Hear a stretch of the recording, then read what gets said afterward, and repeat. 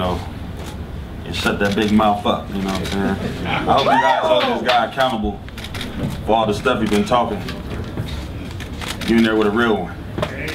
You in there with a real one, bro. I'm gonna show you, man. I'm gonna show you what it's all about. I'm gonna welcome you to the game. Go, Gerald. For real. I'm ready to go, baby.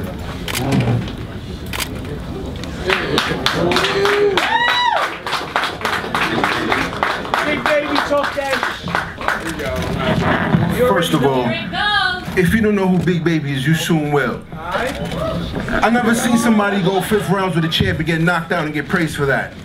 And my hood was called the ass whooping. So let me tell you something.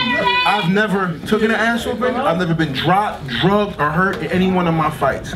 This young man tell me he gonna introduce me to big time boxing. The first time he stood up in a big time boxing event, he got knocked down. I've been in front of 30,000 fans, 20,000, 25,000 fans in Japan, Croatia, and K1, and trust me, I went there and I went to war and I win. So this young man, I know when he come to Brooklyn, I'm gonna wipe that smile off your face. And his name is El Gallo, Chicken, El Pasta, Rooster, whatever it is. I'll tell you one thing. One thing we love in New York is fried chicken. I'm gonna cook your ass, boy. You gonna have enough to eat. You gonna have enough to eat. Gonna have enough to eat. I ain't, Beyonce. I ain't Deontay. Trust me. Okay, we're gonna see.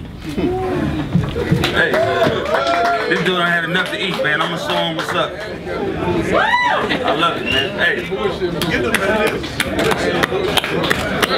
we gonna bring the fire out, baby. We gonna bring the fire out. Thank you, everybody. It's Hey, smart.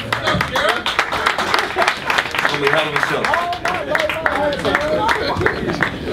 Jarrell, you said your piece? You're good? no, I, I, that was a bad question. Keep it, keep it short. If you guys didn't know, uh, I started my promotion company, Big Baby Promotions.